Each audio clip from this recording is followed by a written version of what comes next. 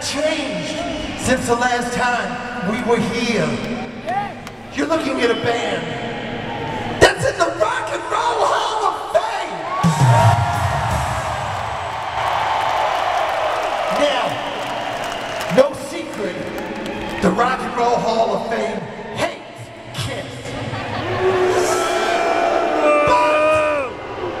the Rock and Roll Hall of Fame had to listen to you.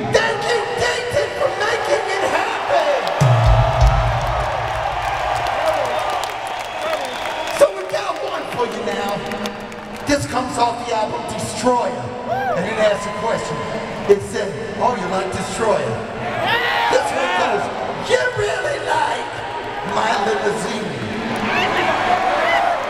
You like the way the wheels roll?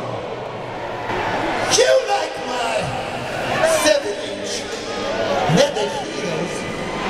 I'm going to all the shows?"